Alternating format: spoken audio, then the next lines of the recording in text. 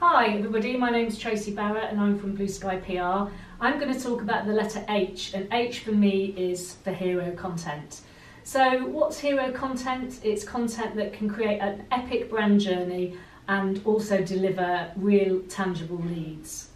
So let's have a think about how you can do that. So you might have run an event with your clients and candidates, you might have conducted a survey, you might have interviewed some of your clients and candidates on a, a hot talent topic.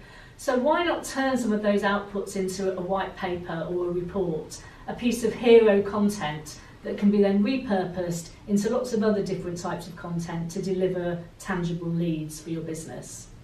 So let me give you an example of how we did just that quite recently. So we did a white paper for Alexander Mann Solutions on the future of work.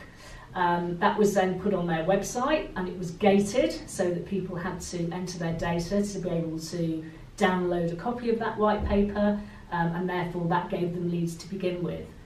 We then did a press release off the back of the main findings of the report. Um, that got some great coverage, but we also got then four articles commissioned from different HR and business media, um, thought leadership uh, articles that were then obviously used to um, create even more leads. It was shared through um, their social channels and through an e-marketing campaign. So both the hero content and the coverage were shared. And the result of that was a 600% increase in their website traffic, 20 new business wins, and a corporate content award. So who wouldn't want that? So in 2019, be a content hero. You won't regret it.